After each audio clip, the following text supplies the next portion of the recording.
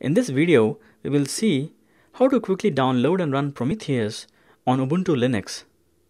We will also examine its web interface and also see its configuration file where the configuration settings are defined. First, let me open up a browser and type download Prometheus.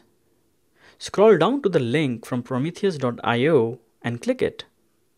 Now here, click on the drop down to find the download appropriate to your platform.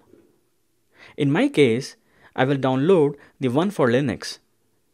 Architecture is AMD 64. Let me click on the tar file and download it. Here is a file in the downloads folder. Let me double click it. It opens the archive manager. Let me extract it to the downloads folder. Here is the extracted folder. And here we see the Prometheus executable file, the prometheus.yaml file where you configure the Prometheus settings like the locations Prometheus should be scraping for metrics, etc. Let's right click and open up a terminal at this location. Typing ls shows us our files.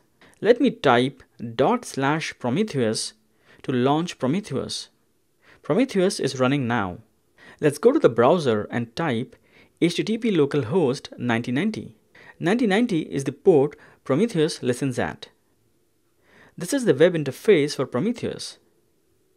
Let me click on status and then targets. Here we see that by default, Prometheus adds its own metrics as one of the targets.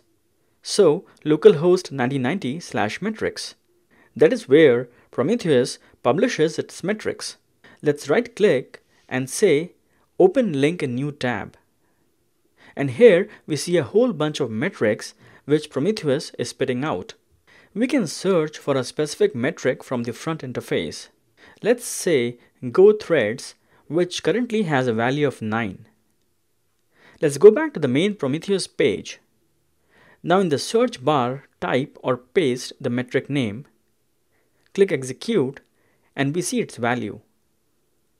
Clicking the metric explorer, we can search for a whole bunch of metrics. Let's choose this metric and click execute. And we see its values. Now let's take a look at the Prometheus configuration file prometheus.yaml. The global configuration section contains parameters valid in all configuration contexts, like the default scrap interval of 15 seconds. So every 15 seconds, it's going to ping the scrap targets for new metric values. There are other global parameters like evaluation interval, etc. Then there is the alerting and rule manager configuration. But the most important is the scrap targets, the URL locations which Prometheus is going to scrap for metrics.